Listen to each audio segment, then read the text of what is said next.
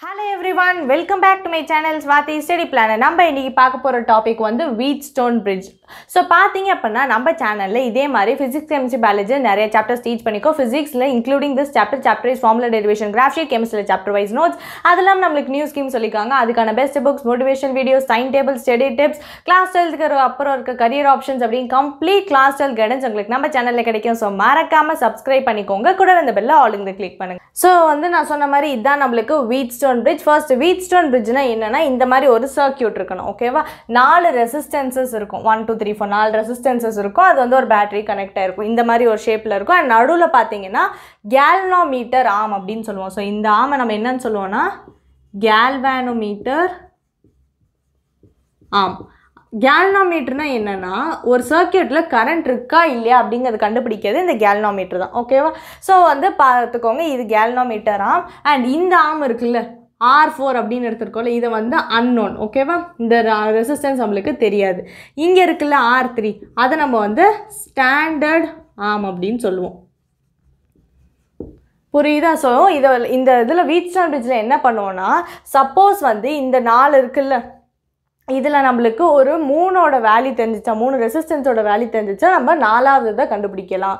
இல்லை என்ன பண்ணலாம்னா ரெண்டு ரெசிஸ்டன்ஸோட வேல்யூ தெரிஞ்சிச்சுன்னா மிச்ச ரெண்டு ரெசிஸ்டன்ஸோட ரேஷியோ கூட நம்ம கண்டுபிடிக்கலாம். புரியுதா? ஸோ இந்த ரெசிஸ்டன்ஸ் கண்டுபிடிக்கிறது அது யூஸ் பண்ணோம். எப்படிங்கிறது நம்ம இப்போ டெரிவேஷன் போட்டோம்னா உங்களுக்கு புரிஞ்சிடும் ஸோ இந்த வருஷம் பார்த்தீங்கன்னா நம்மளுக்கு சிலபஸ்லேயே கொடுத்துருப்பாங்க குவாலிட்டேட்டிவ்லின்னு ஆனாலும் வந்து டெரிவேஷன் வரைக்கும் தெரிஞ்சுக்கோங்க. சம்ஸ் நீங்கள் போடலனாலும் டெரிவேஷன் வரைக்கும் தெரிஞ்சுக்கோங்க. ஸோ தட் வந்து ஒன் மார்க் அந்த மாதிரி கான்செப்ட் கிளாரிட்டி உங்களுக்கு இருக்கும். ஓகே அதுக்காக தான் நான் டெரிவேஷன் போட்டு காமிக்கிறேன்.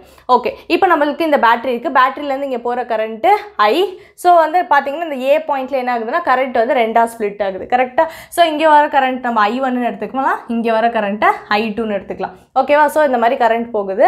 நெக்ஸ்ட் என்ன ஆகுது? இந்த பாயிண்ட் பியில் ஐ டூங்கிற கரண்ட் போகுது. இங்கே ஐஜிங்கிற கரண்ட் போயிடுச்சுன்னா இங்கே எவ்வளோ இருக்கும்? இந்த இடத்துல.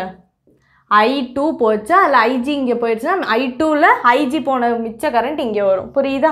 நெக்ஸ்ட்டு இங்கே இப்படி ஐஜின்னு வருது இங்கே ஐ வருது இந்த டி பாயிண்டில் என்ன ஆகுது இது ரெண்டும் சேர்ந்து இங்கே போகுது. அப்போ இந்த இடத்துல கரண்ட் என்னது நம்மளுக்கு? ஐ ஒன் ப்ளஸ் ஐஜி ரெண்டும் சேருது.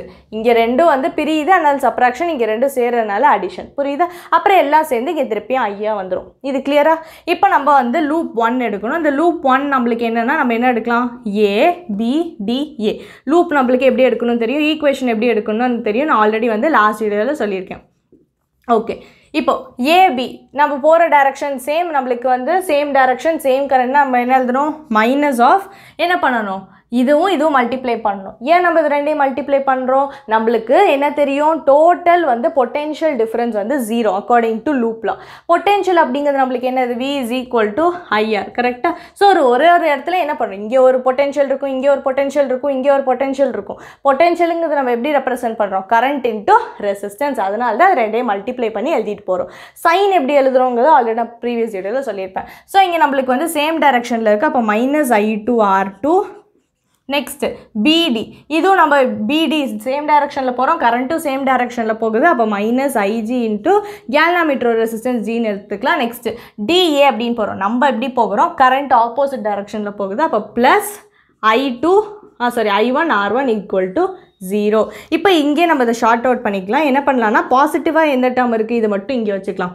இந்த டேர்மை அந்த சைடு எடுத்துகிட்டு போகிறேன் I two R two plus IG into G இது நம்ம ஈக்குவேஷன் ஒன்றுன்னு வச்சுக்கலாம். நெக்ஸ்ட்டு என் லோப் நெக்ஸ்ட்டு என்ன பண்ணலாம்?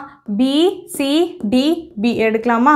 பிசிடிபி பிசி நம்ம போகிறது same direction current to same direction அப்போ minus of R four into I two minus IG next CD நம்ம போகிறது இந்த டைரக்ஷன் ஆனால் கரண்ட் ஆப்போசிட் டைரக்ஷனில் போகுது. அப்போ plus R three into I one plus IG next இப்படி நம்ம போகிறோம். ஆனால் நம்ம போகிறது டிபி கரண்ட் உல்டா டைரக்ஷன் ஆப்போசிட் டைரக்ஷனில் போகுது. அப்போ நம்மளுக்கு ப்ளஸ் என்ன இருக்குது நம்மளுக்கு IG into G is equal to zero நான் சேம் அதை இங்கே பண்ண கான்செப்ட் தான். பாசிட்டிவாக இருக்கிற டேர்ம்ஸ் இங்கே வச்சுக்கலாம்.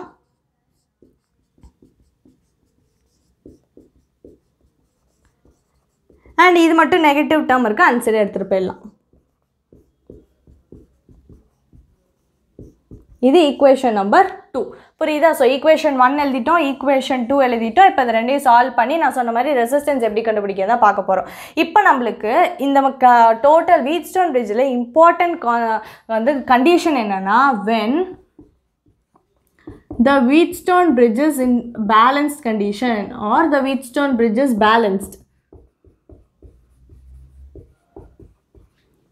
Wheatstone bridge வந்து பேலன்ஸ்டு கண்டிஷனில் இருக்குதுன்னா IG is equal to zero அப்படின்னா என்னென்னா galvanometer shows no deflection so ஒரு வீட் ஸ்டோன் பிரிட்ஜ் எடுத்துக்கிறோம்.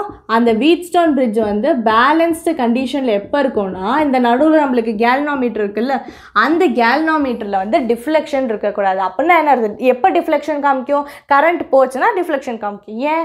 கேல்னாமீட்டர் தான் கரண்ட் இருக்கா இல்லையான்னு சொல்லுது. அப்போ கரண்ட் இருந்தால் அது டிஃப்ளெக்ஷன் காமிக்கும். கரண்ட் இல்லை அப்படிங்கிறப்ப தான் கரண்ட் இல்லைன்னா அது கேல்னாமீட்டர் ஆமில் கரண்ட் போகலை. அப்போ தான் வந்து என்ன ஆகும்? வீட் ஸ்டோன் பிரிட்ஜு பேலன்ஸ்டாக இருக்கும். புரியுதா? ஸோ வீட் ஸ்டோன் பிரிட்ஜ் எப்போ பேலன்ஸ்டாக இருக்கும்? ஐஜி ஜீரோவாக இருக்கும் போது ஸோ இப்போ என்ன பண்ணுறோம் இந்த ரெண்டு ஈக்குவேஷன்லேயே ஐ ஐஜி வேல்யூவை ஜீரோன்னு சப்ஸ்டியூட் பண்ணுறோம் ஸோ பண்ணலாமா? ஸோ நம்மளுக்கு என்ன வரும்?